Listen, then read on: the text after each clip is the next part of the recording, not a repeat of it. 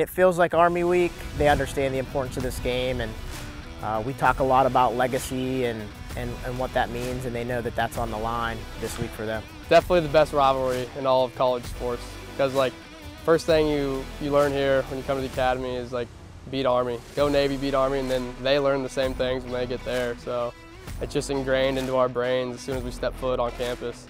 You know, there's teams that love to win, and there's teams that hate to lose, and I think those are two really different cultures. We're a culture that just hates to lose, you know.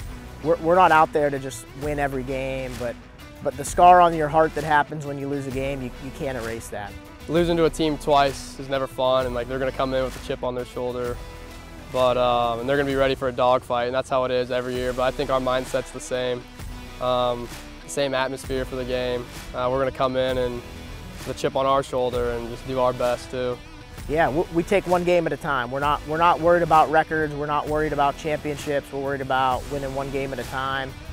And uh, yeah, we're expecting expecting it to be a really really emotional and physical game on Friday. It's all about the legacy and those who've gone before us. And we always talk about the legacy is not ours, but ours to uphold. Just can't wait for the game on Friday.